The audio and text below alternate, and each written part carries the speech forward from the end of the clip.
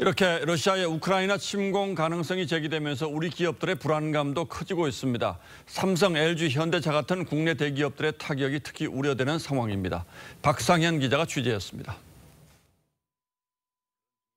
러시아의 현대차 공장 연간 20만 대를 생산하며 러시아 등 CIS 지역 전진기지 역할을 담당하고 있습니다. 하지만 러시아와 우크라이나 갈등이 고조되면서 자칫 부품 공급이 중단될 수 있다는 우려가 나오고 있습니다.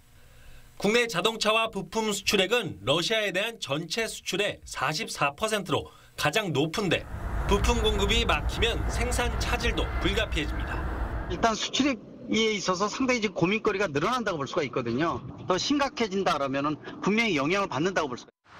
러시아의 공장을 운영 중인 삼성과 LG전자도 촉각을 곤두세우긴 마찬가지입니다. 삼성과 LG전자는 러시아와 주변국에서 매년 5조 원 넘는 매출을 올리고 있는 상황. 러시아가 무력 도발할 경우 미국이 러시아를 제재할 가능성이 높아진 겁니다.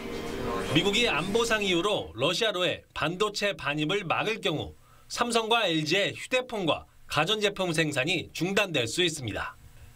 미러 갈등의 불똥이 우리 기업에게 튈 수 있다는 우려입니다. 그러니까 삼성이나 LG가 그 스마트폰이나 뭐 가전을 1위를 하고 있기 때문에 아무래도 그 영향은 충분히 받을 수 있을 수밖에 없는 우크라이나발 국제 정서 불안에 국내 수출 기업이 숨죽이고 있습니다. TV조선 박상현입니다.